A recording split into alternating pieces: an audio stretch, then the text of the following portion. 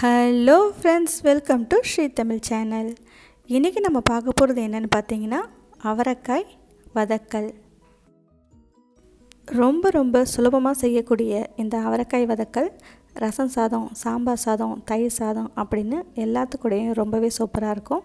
நீங்கள் அப்படியே சாதத்து கூட மிக்ஸ் பண்ணி கூட சாப்பிட்லாம். அதுக்கும் நல்லாயிருக்கும். வாங்க இதை எப்படி செய்யலான்னு பார்க்கலாம். அவரைக்காய் வதக்கல் பண்ணுறதுக்கு முதல்ல ஒரு பேனில் ஒரு டேபிள் ஸ்பூன் எண்ணெயை சேர்த்து சூடு பண்ணிக்கோங்க. எண்ணெய் லேசாக சூடானதும் ஒரு அரை ஸ்பூன் கடுகு உளுத்தம் பருப்பு போட்டு தாளிச்சிக்கோங்க. கடுகு பொரிஞ்சதும் ஒரு பெரிய சைஸ் வெங்காயத்தை நல்லா பொடியாக கட் பண்ணி இப்போ நாம் அதில் சேர்த்துக்கலாம்.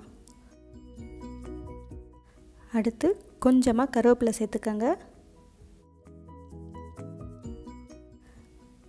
வெங்காயம் கண்ணாடி பதத்துக்கு வர வரைக்கும் நாம் இப்போ இதை வதக்கி எடுத்துக்கலாம்.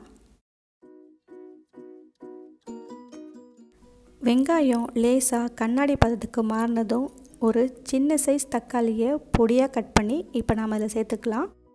சின்ன சைஸ் தக்காளிக்கு பதிலாக மீடியம் சைஸ் தக்காளியில் பாதி கூட சேர்த்துக்கலாம்.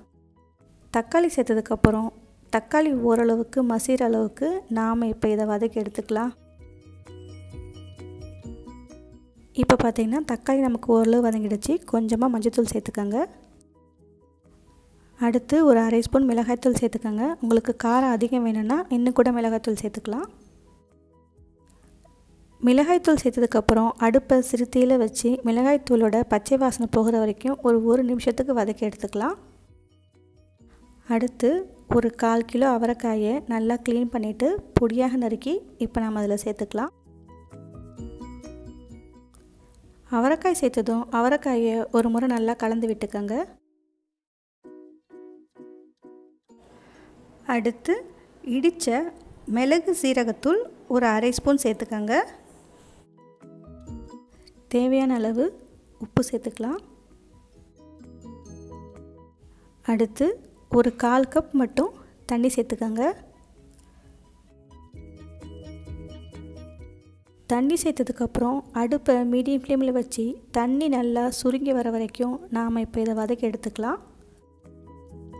இந்த நேரத்தில் பார்த்திங்கன்னா அவரைக்காயில் தண்ணி எல்லாம் நல்லா சுருங்கி வந்திருக்கும். தண்ணி நல்லா சுருங்கி வந்ததும் அடுப்பை சிறுத்தைக்கு மாற்றி வச்சுடுங்க. அடுப்பை சிறுத்தையில் மாற்றி வச்சு அவரைக்காய் நல்லா கலர் மாறி ஓரளவுக்கு லேசான ப்ரௌன் கலர் வர வரைக்கும் நாம் இப்போ இதை வதக்கி எடுத்துக்கலாம். உங்களுக்கு அவரைக்காய் ரொம்ப வதங்கக்கூடாது அப்படின்னு நீங்கள் நினச்சிங்கன்னா உங்களுக்கு எந்த அளவுக்கு தேவையோ அந்த அளவுக்கு வதக்கி எடுத்துக்கோங்க.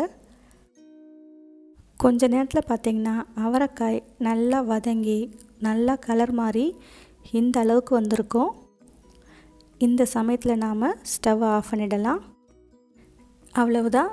இந்த அவரைக்காய் வதக்க ரசத்து கூட சேர்த்து சாப்பிட்டு பாருங்கள் ரொம்பவே சூப்பராக இருக்கும்.